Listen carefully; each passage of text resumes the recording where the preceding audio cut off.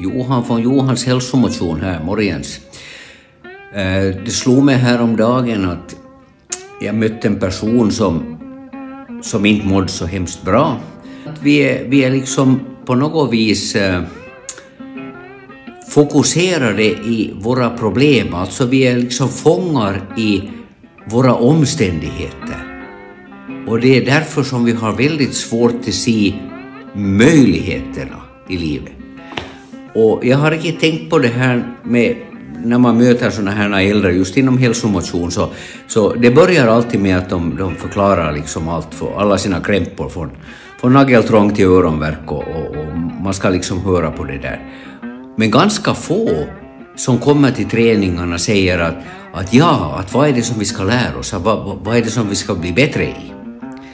Och då har jag riktigt tänkt på det här att det är ju faktiskt fast i det här förhållningssättet att om du kan skifta från att vara i dina problem, för det är redan, det är redan gånget, inte kan du ändra på det.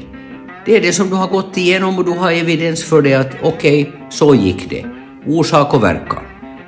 Men vi har väldigt svårt att skifta den där fokusen över till möjligheterna. Att det här kan jag ännu bli. Så nu har jag lärt mig det här att jag ställer upp nya mål. Varje morgon när jag vaknar så tänker jag, vad ska jag göra?